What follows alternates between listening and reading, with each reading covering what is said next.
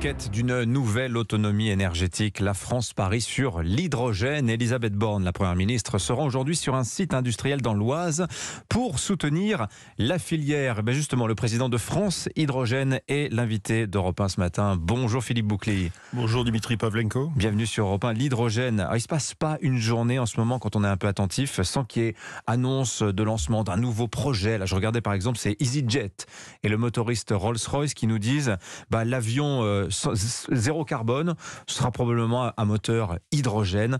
Et c'est comme ça tout le, absolument tout le temps. Alors l'hydrogène, je rappelle, gaz non toxique, très énergétique. Il a comme avantage que quand on le brûle, le seul résidu, c'est de l'eau. On en est où du développement de cette filière hydrogène, Philippe Bouclier, en France?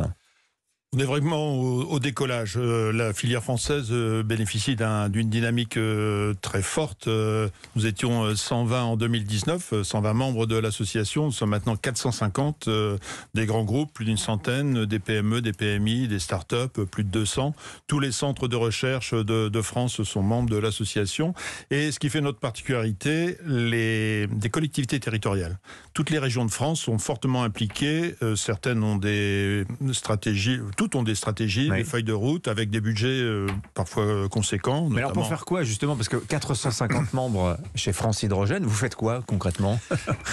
Alors, il faut travailler sur toute la chaîne, c'est-à-dire à la fois euh, produire des, matériels, c'est le sens du déplacement de Madame Borne aujourd'hui, euh, Plastic Omnium.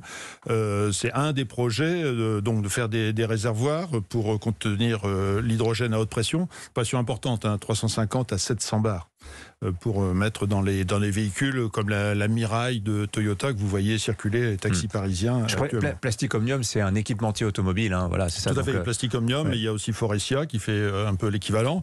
Vous avez une. Donc on travaille sur la voiture à hydrogène très clairement là. Hein. c'est pas la, c'est pas la priorité. Euh, la, priorité, c'est l'hydrogène en fait fera aura un rôle très important dans la transition euh, énergétique. Il fera ce que l'électricité ne sait pas faire. C'est-à-dire donc. Euh, il va donc aider à décarboner tout le système énergétique. Là où l'électricité peine à, faire, c'est notamment l'industrie lourde. L'industrie lourde, c'est par exemple la sidérurgie. Actuellement, vous réduisez du minerai de fer avec euh, du coq, avec du, charbon. Euh, c'est deux tonnes de gaz carbonique par tonne d'acier. À, l'avenir, on va faire ça avec de l'hydrogène et vous allez diviser par 10 les émissions de, gaz carbonique. C'est par exemple la production d'engrais. C'est par exemple dans, toute la, dans la chimie. Dès qu'on a besoin de beaucoup d'énergie, de beaucoup d'électricité notamment, et que cette électricité, euh, on va la faire avec du charbon, on peut faire avec de l'hydrogène. C'est l'idée, c'est un peu le principe. Hein.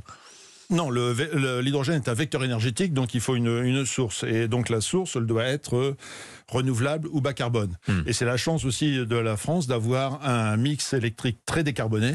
Et donc on peut faire euh, cette électricité à la fois avec du renouvelable ou avec de l'électricité nucléaire. Alors justement, j'ai découvert qu'il y avait sept couleurs d'hydrogène. Il n'y a oh pas que le vert. Ah, ah si, j'ai vu qu'il y avait de l'hydrogène rose quand on passait par le rose. Non, il faut sortir de ce débat sur, les, sur les couleurs et il faut euh, s'engager sur quelque chose de plus rationnel, c'est-à-dire à partir de quand on peut considérer que l'hydrogène est vertueux. Alors, si vous faites de, comme maintenant, euh, comme actuellement, de l'hydrogène à partir de fossiles. Si vous le faites à partir de gaz naturel, c'est 9 kg de gaz carbonique par kilo d'hydrogène. Si vous le faites à partir de gaz naturel, à partir de pétrole, c'est 13 kg, à partir de charbon, c'est 20 kg. Donc on sent bien que c'est pas pérenne, c'est pas vertueux. Donc euh, il faut le faire à partir de sources euh, bas carbone, c'est ce que je disais, euh, nucléaire ou renouvelable. Et il se dégage une, ce qu'on appelle la taxonomie verte, ce qui dégage un seuil en dessous duquel on va considérer que l'hydrogène est vertueux. C'est actuellement euh, le, chiffre qui circule, c'est 3,38 ah euh, kilos de gaz carbonique par rapport à par kilo d'hydrogène, c'est-à-dire un abattement de 70% à peu près par rapport mhm. à, euh, aux méthodes classiques. Alors c'est bien de nous mettre une échelle de valeur comme ça en tête, mais alors vous avez vu, c'est dans l'actualité, Philippe Bouclier, on en a parlé un peu ces derniers jours, les eurodéputés viennent de voter un amendement qui autorise à qualifier de renouvelable, de vert, donc de l'hydrogène qu'on produirait grâce à des centrales thermiques qui pourraient fonctionner au charbon, complètement aberrant. Oui, oui, là, il y a eu effectivement, euh, on n'a pas tout à fait compris euh, le vote des. Bah, c'est terrible parce que c'est un dégât d'image pour la filière, ça quand même. On se dit, oh, on veut nous faire croire que l'hydrogène c'est vert alors que ça l'est pas c'est le vote du Parlement européen, c'est important. Mais maintenant, on va s'engager une discussion, une négociation entre le Parlement européen, la Commission européenne, qui a quand même été désavouée par, euh, par le vote du Parlement, et par le Conseil de, par le Conseil de l'Union. Donc qu'est-ce qui s'est passé dans cette affaire-là Et donc, Philippe, c'est quoi C'est les Allemands qui ont fait pression pour. Euh, le...